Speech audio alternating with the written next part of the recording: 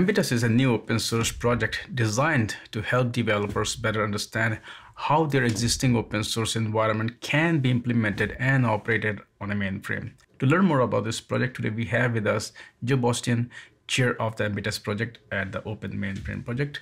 Joe, it's great to have you on the show. Let's talk about the project. What is it all about, and what is the story behind the name? Yeah, so the story behind the name, um, to begin with, that is uh, it's Latin for compass, and uh, the point of our project is to try to help people looking for open source software that runs on IBM Z to find the kinds of things that they may need to do for their day-to-day development activities. So the Ambitus project is is aimed at developers who perhaps have an idea for a, a, a project of their own, but they uh, that it's not a large enough project that that needs to have its its own its own space under the Open Mainframe project umbrella. We host a number of sub projects that have a code base, for instance, and a number of users who work on that code base.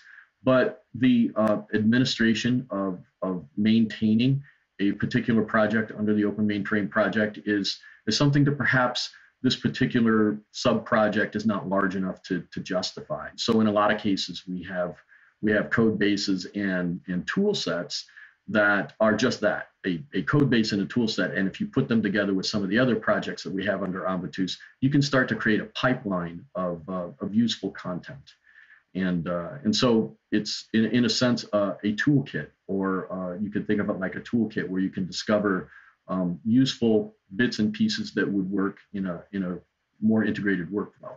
Can you explain the working of the project? How does it work? So if, if someone has an idea for a project, um, for instance, I created one, um, I've created one that uh, that uses Jupyter notebooks to go off and uh, and run workloads on a on a ZOS platform. Uh, that is a, a modest project of several hundred lines of code um, it was a good idea. I wanted to implement that and and just share it with others. I went and took it before the technical steering committee for the for the Ambitus project and said, I have this idea. Um, got some advice on on what kinds of best practices I needed to follow in terms of copyright statements and licensing and and other assets that need to be included with the project. And then I was allowed to go ahead and post my code under a, rep- a repository.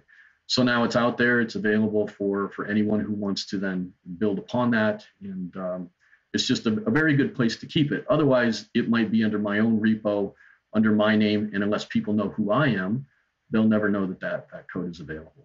Does Ambitus also host projects and resources? Yes, that's correct. Yeah, we do that, and we have, for instance. Uh, uh, repositories that just have examples in, uh, of various techniques. So we, we post Docker files, for instance, we, we post shell scripts and tools and things like that. What kind of resources are there to help developers not only better understand how they can bring their projects to Open Mainframe, but also get started with these projects? So there is there is some uh, background and history of open source development on ZOS that people may find useful. Um, particular uh, particular attributes of the platform that they have to be aware of that perhaps they may not need to be aware of on other platforms. For instance, most of the world runs in uh, in an either an, an, ASCII code page or uh, perhaps a, a Unicode uh, code page. The native code page on on ZOS is is EBCDIC. We uh, that was part of the mainframe from years and years ago. So uh, it's one thing to be aware of, and, and we have some of that kind of information, uh, you know, available. Um, as far as as um, learning, you know, um, how to how to where to find resources to do actual development on ZOS, uh, we we can point to other other projects under the Open Mainframe project where they can provision perhaps a virtual machine to go off and do development. There are other efforts under the OMP as well where where we can go ahead and share that and direct them to you know to those resources. Especially in the academic community there's a lot of work in that space and uh, so we can it's a it's a good place to start if you just want to ask questions and know where to go and, and we're happy to guide anybody who has you know is looking for answers. Can you also talk about what kind of sub projects do you host so one of the sub projects we host is called cb explorer it is a uh, it is a a tool that allows you to look through memory and explore published control blocks of ZOS. So there, there, are, there are books out there that explain the different data areas of ZOS system. Those are all published interfaces that don't really have application programming interfaces associated with them. Um, not in a not in a high level language. They're all they're all assembler uh, interfaces. So the Control Block Explorer lets you go out and explore those published control blocks, look around and, and see what's there, and it helps to format the kinds of, uh, of data you may, you may find uh, interesting and useful. That's something that's very close to the ZOS operating system as an example. We also provide a, a repository for Linux containers where we have a set of Docker files that are available that tell you and give you uh, directions on how to build uh, a Docker container that could be deployed on Linux on Z or on ZOS. They're Linux-based containers.